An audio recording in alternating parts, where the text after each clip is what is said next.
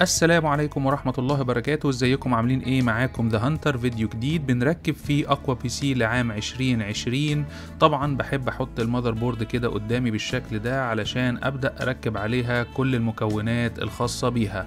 طبعا أول حاجة لازم نكون جاهزين بيها العدة بتاعتنا. المفك الصغير اللذيذ ده هو اللي هيخلص لنا الدنيا كلها علشان نقدر نفتح بيه المسامير الصغيرة اللي موجودة في ال board بتاعتنا. هنركب فيها ال M 2 وهنركب فيها المكونات. أول حاجة ببدأ بيها طبعا هي الرامات زي ما إحنا شايفين كده بفتح الرامات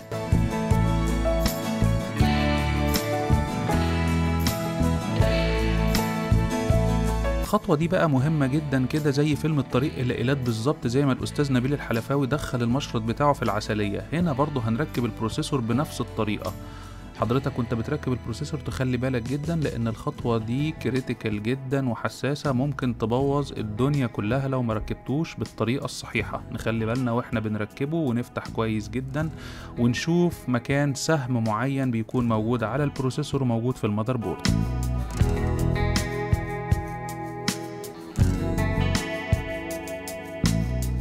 معلومة كده سريعة حابب أوضحها إن إحنا بعد ما بنركب ال processor ال cover اللي فوق ده بيتشال. معلومة مهمة جدا تشيل ال cover ده على جنب علشان إحنا هنركب ال coolant بتاعنا على ال processor على طول مش محتاجين ال cover ده. في الخطوة دي هنبدأ نركب ال M2 SSD card بتاعنا من شركة Crucial 1 TB بيتركب تحت ال heat sink ده في ال motherboard هو عادة بيكون في أي motherboard في المكان ده. طبعا بالمفك اللذيذ بتاعنا الصغير علشان هو اللي هيقدر يساعدنا في فك المسامير اللي موجودة في ال motherboard من غير ما نكسر أي حاجة أو نأذي ال motherboard نفسها في أثناء عملية التركيب أو الفك. دلوقتي هنركبه مع بعض.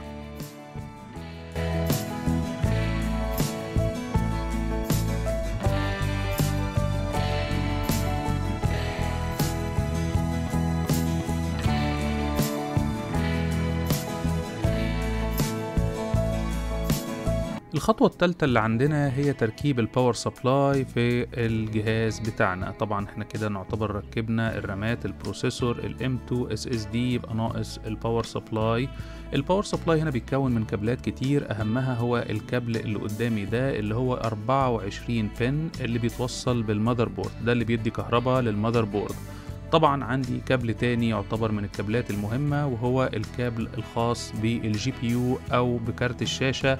وطبعا بيجي فيه options كتير زي ما إحنا شايفين.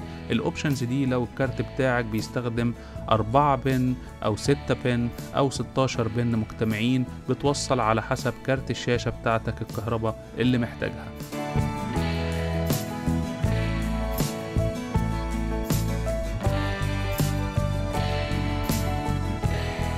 بعد ما ركبت ال power supply أنا هنا بدأت أدخلت ال board عندي في ال case وطبعا حطيتها في مكان مخصص بتاعها ركبت المسامير وقفلت عليها كويس جدا وبعدين قمت مركب كارت الشاشة.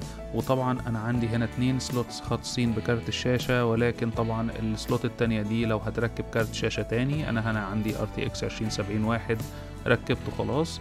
آه ما ننساش طبعا وإحنا بنركب كارت الشاشة إن إحنا نفتح من ورا علشان بيكون في في ال case ال guards اللي بتبقى قافلة على كارت الشاشة من ورا علشان ال slots الخارجية بتاعة كارت الشاشة تكون ظاهرة عندي. أنا هنا كمان في ال case بتاعي غيرت المراوح بتاعتها كلها خليتها RGB من شركة Corsair عندي جبت ال 120 RGB بيجوا 3 set بيجي 3 وعندي جبت اتنين 140 طبعا أنا عندي ال 120 ركبتهم وال 140 ركبتها خلفي ولسه عندي مكان فوق ده هركب فيه ال liquid cooler بتاعي الخاص بال processor. زي ما إحنا شايفين دلوقتي هنبدأ نوصل الكابلات بتاعه ال motherboard وكارت الشاشة. طبعا عندي هنا ال 24 pin وعندي ال 16 pin بتوع كارت الشاشة.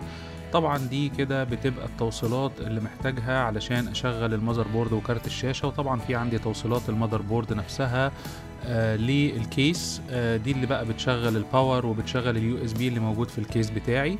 آه ده شكل ال case طبعا من ورا زي ما إحنا شايفين. ده الحتة دي اللي بنسميها ال ugly part بتاع ال case المكان القبيح يعني. طبعا هو في ناس بتخليه قبيح وفي ناس بتخليه شكله حلو يعني توزيع الكابلات بيتنظم في الآخر طبعا. إحنا طبعا هنا لسه ما نظمناش لسه بنركب.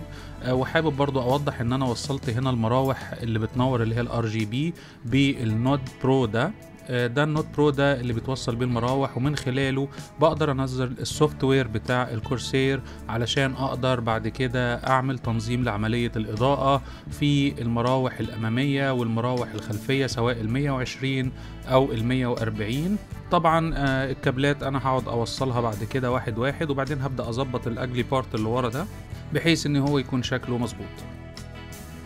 زي ما إحنا شايفين أنا هنا وصلت الكابلات كلها بتاعه آه، ال motherboard وكارت الشاشة. آه، زي ما إحنا شايفين ال power supply دلوقتي يعتبر connected بشكل كويس جدا.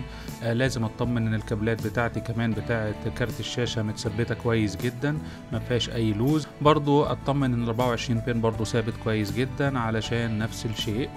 كله طبعا بحاول أجيبه من ورا وبحاول أعمل hidden على قد ما أقدر. في عندي الجزء ال power الخاص آه، بتاع ال motherboard والمراوح اللي بتتوصل بال motherboard ده كله طبعا بحاول أعمل له hidden من ورا. زي ما إحنا شايفين ال case بتاعتي كده تعتبر آه، متظبطة. مش ناقصني غير إن أنا أركب ال liquid cooler وكده تبقى ال case بتاعتي جاهزة. هنا أنا ركبت ال liquid cooler زي ما إحنا شايفين من فوق عندي المروحتين ال 120 بتوعه دلوقتي راكبين على الشاسيه نازلين هينزلوا من فوق على ال processor بتاعي وزي ما إحنا عارفين عندي حلقة كاملة بتكلم فيها عن كيفية تركيب ال liquid cooler بتاعك إزاي بطريقة احترافية. أنا هنا مركبه من فوق ولكن في وقت تاني هغيره أخليه من قدام زي ما أنا عايز بقدر أغير مكان ال liquid cooler لأنه لسه جديد ومفتوح من ال box بتاعه. هنا أنا ركبت ال liquid cooler زي ما أنتم شايفين طريقة بسيطة جدا من فوق ربطته وركبته وال tubes بتاعته نازلة تمام واللي عندي كده ال powers تمام عندي ال fans متظبطة عندي الكارت الشاشة متركب. هنطمن دلوقتي إذا كان كله شغال ولا لأ وهنشوف مع بعض إمكانية إن كل ده يكون شغال ولا في أي مشكلة.